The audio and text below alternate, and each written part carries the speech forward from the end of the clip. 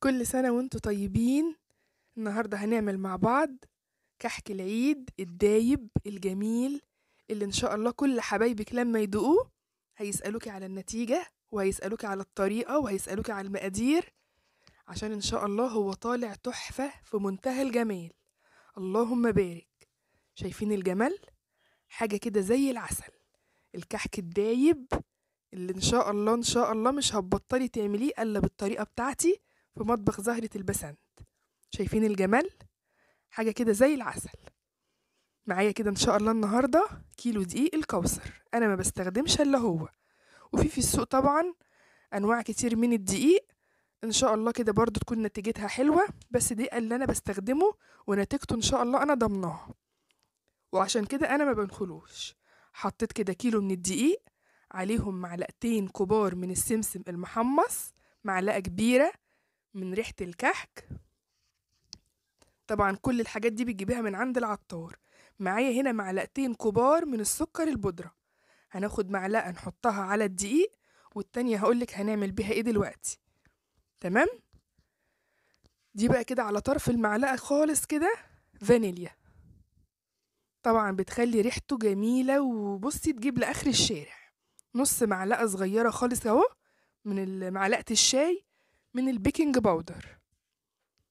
دي بقى إيه رشة الملح اللي إحنا إيه متعودين عليها.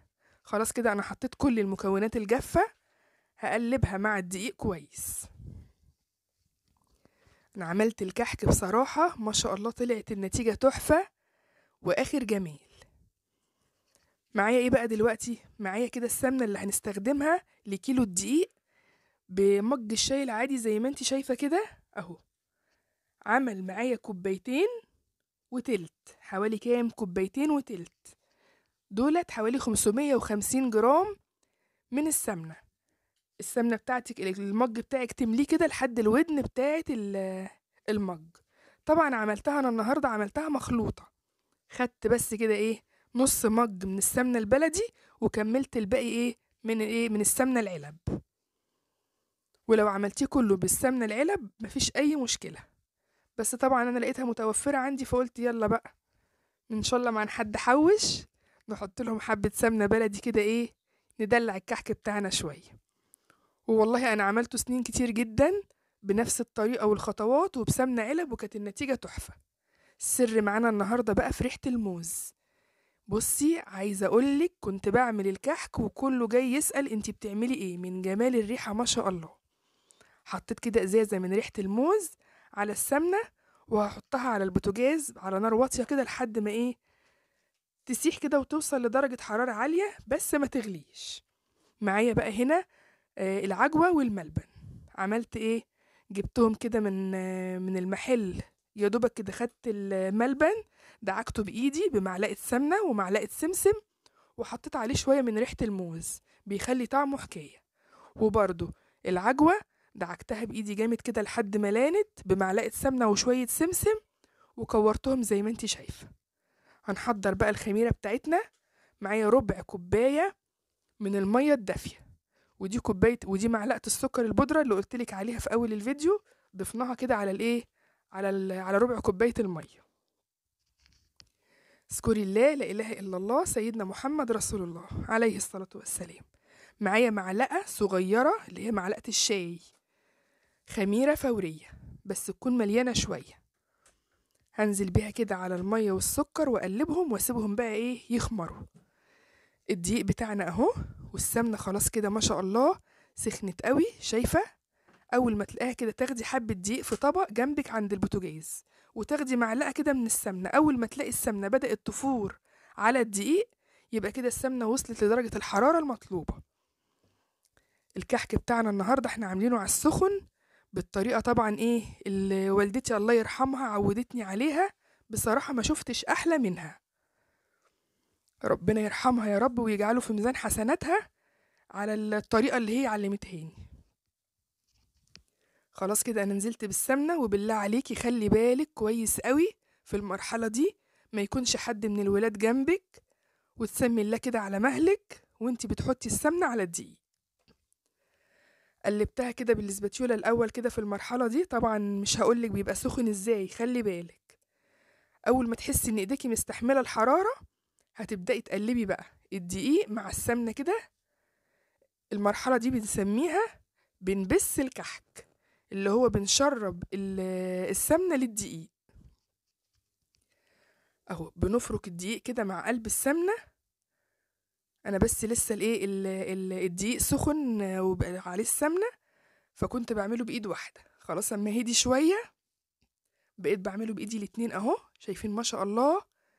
كده خلاص الدقيق شرب السمنة كويس جدا. شايفين طري إزاي وناعم إزاي؟ المرحلة دي كده تثبت لك إن إن شاء الله الكحك بتاعك هيطلع ناجح بإذن الله. خلاص كده ربع كوباية المية اللي عملنا عليها الخميرة ما شاء الله طلعت ناجحة وخمرت. نزلتها كده في الأول على الدقيق. برضو بأطراف صوابعك هتبدأي إيه؟ تدعكي الخميرة مع قلب العجينة بتاعتك. طبعا زي ما إحنا متفقين يا جميل أوعي تعجني في نواعم العيد. بطراطيف صوابعك كده يا دوبك هنشرب السوايل للعجينة. معايا بقى دي كوباية لبن بس هي مش لبن كلها نص كوباية لبن دافية عليها نص كوباية من المية الدافية. ادتني المج ده. هتبدأي تضيفي السوائل بتاعتك حبة حبة لغاية ما تشوفي العجينة بتاعتك محتاجة ولا لأ. وطبعا هوريكي إزاي إن شاء الله تختبريها وتعرفي إن هي كده خلاص استكفت من السوائل. خلاص كده العجينة بتاعتي بقت تمام زي ما انت شايفة كده. هتاخدي قطعة من العجين كده وتكوريها كويس قوي قوي كده على ايديكي أهو وتدوسي عليها بصبعك أهو. ما شاء الله العجينة طالعة تحفة. ولا بتشقق ولا أي حاجة. أول ما تلاقيها لمت وما بقتش تشقق كده ونعمت تبقى كده هي تمام. أنا خدت الكوباية كلها يا دوبك اتبقى معلقة. هنغطيها بقى بكيس كده ونسيبها تريح شوية. ونبدأ إيه نشكل الكحك بتاعنا إن شاء الله. يلا بقى كده قبل ما نشكل الكحك اوعي تنسي وما تحطيش ال like. لايكات كتير بقى عشان العيد بقى وكحك العيد بقى وبسكوت العيد إن شاء الله النتيجة تعجبك. بجد أنا عملته طالع تحفة اللهم بارك. هناخد كده قطعة من العجينة ونكورها كويس. وهناخد طبعا العجوة بتاعتنا الحشوة يعني ونكورها تاني.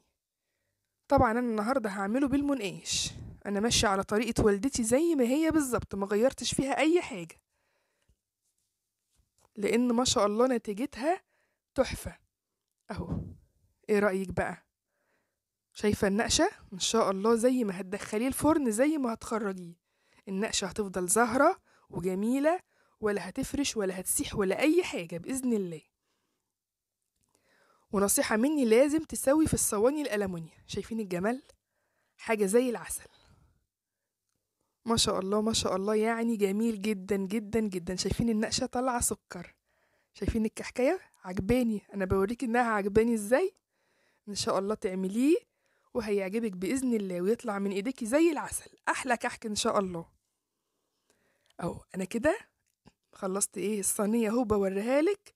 شايفين النقشة طالعة تحفة تحفة تحفة. هي الكحكاية كلها ما شاء الله طالعة جميلة.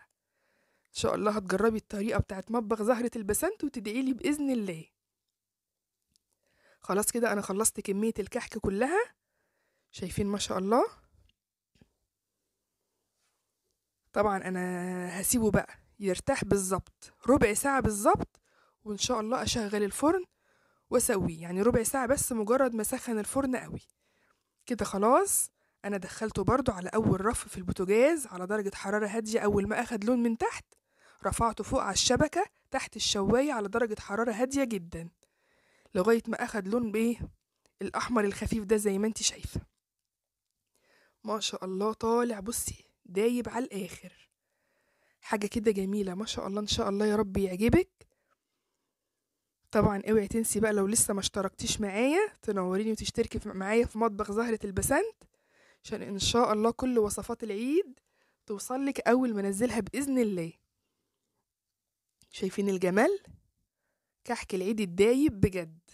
بس امشي على نفس الخطوات ونفس الطريقة وانتي توصلي للنتيجة الجميلة دي. نرش بقى السكر بتاعنا كده بقى وندلع الكحك بتاعنا. حاجة كده اللهم بارك. إن شاء الله كل حبايبك هيسألوكي على إيه؟ الطريقة. ويا رب تعجبك. وألف هنا وكل سنة وانتوا طيبين. مع السلامة.